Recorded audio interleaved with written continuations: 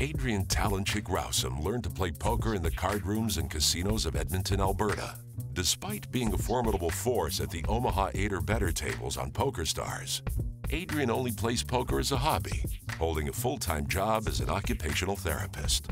Her impressive results on the felt, including several final tables in the PokerStars Women's Sunday Tournament and Supernova VIP status since 2006, have awarded her the extras in life, including jewelry, designer purses, and her dream car.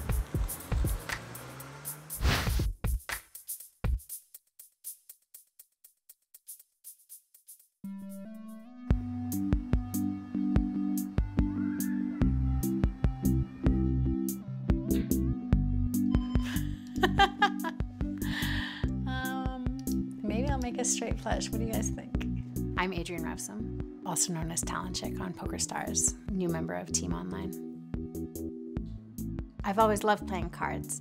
Going back to Ireland to visit family, we always go to play whist, which is a, a card game, kind of, I guess, like bridge. You would go and you would spend your five pounds at the time, or five euros now, and all the scores would get tallied, and you could win money at the end of the night for being the best lady or the best gent. It, it was always a riot. I did not make a straight flush.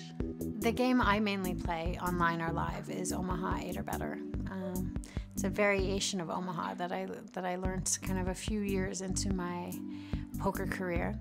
When I first started playing, I was grinding the low limit to the mid stakes limit hold'em tables, whether it was 10, 20, 15, 30, that sort of limit. And this was around the same time that uh, no limit games were taking over the casino, which I didn't find as enjoyable, and I found there was way more. Um, venom in the games like you were there to absolutely stack your opponents like you weren't there to have a good time it was all about the money I mean, I would play poker for nothing. I would play and just sit and play. I definitely prefer the limit games because you can, you know, splash around in pots a little bit more uh, easily or without getting too hurt.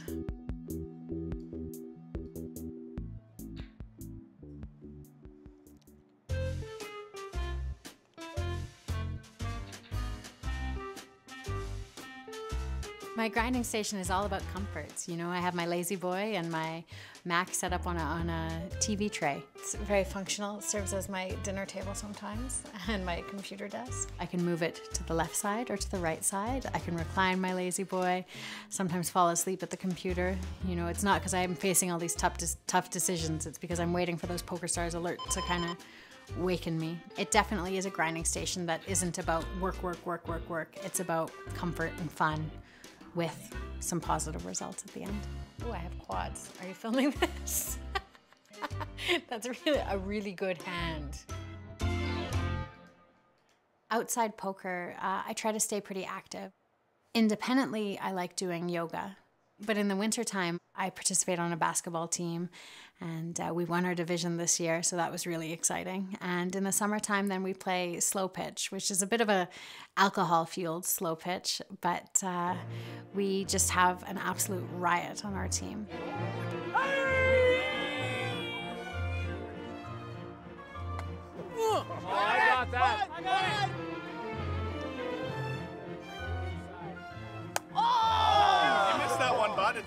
It's game's out. Wait.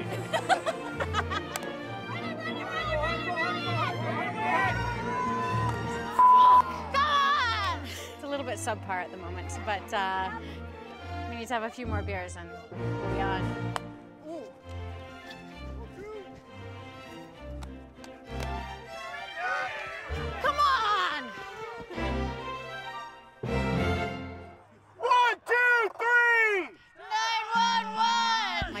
Called uh, 911. Uh, we're started as an emergency department team, so there's people who used to be security guards, there's nurses, there's doctors. It's kind of expanded. We have some teachers, uh, cops, all sorts of people. I've known Adrienne since about grade 7, so what's that, 12, 13 years old? Apparently she thought we were friends, but I didn't know that till about grade 9 or 10. I had a better read on the situation. Michelle used to be a dealer at the casino, and so she dealt blackjack and she started dealing poker shortly thereafter and she's she said you need to get into these games you need to start playing poker I remember the first time I started playing, I was nervous as hell because you hear players complain all the time about how other people's play, and I was always self conscious about, you know, playing the right way and not pissing people off. So when I told her that she should start playing because she'd be really good at it, she kind of had the same anxieties that I remembered having when I started.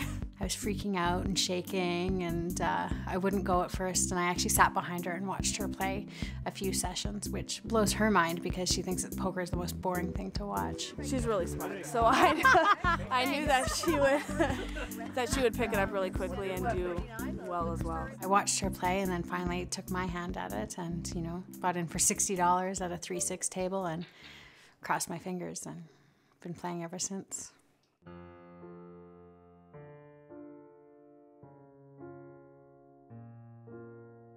When I first meet people, uh, I don't introduce myself as a poker player. If they're asking what I do for a living, it, it definitely is that I'm an occupational therapist.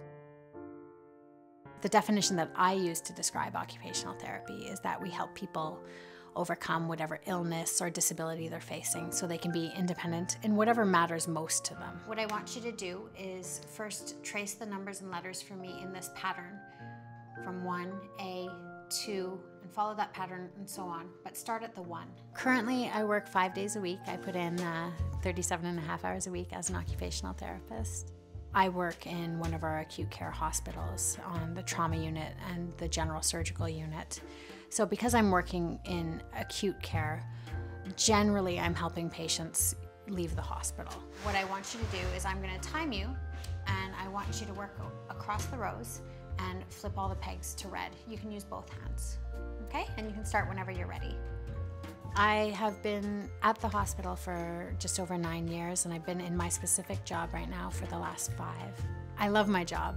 It gives me meaning, and it's important to me in my life that I'm able to help people. And I think trauma in particular really meshes well with what I want to do. Is that you know I want to help people through some of the toughest and maybe most unexpected parts of their lives. The good news is, I think this is the last time you'll have to see me. It sounds like you're doing a lot better. I wish you all the best and stay out of trouble, okay? In my mind, I'm a therapist first, a poker player second. It's a close second, but definitely second.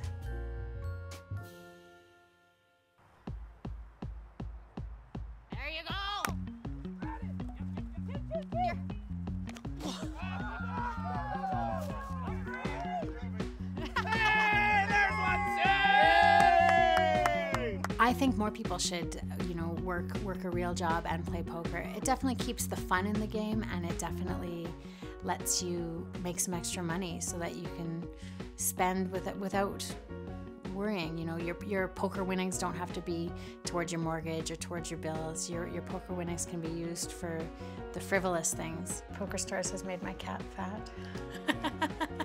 he gets to eat well. poker has, you know, let me buy a fancy car, let me help me buy my house. It's, you know, let me buy designer purses or earrings or, you know, wh- whatever I feel like on any given day. It, it's given me kind of the extras.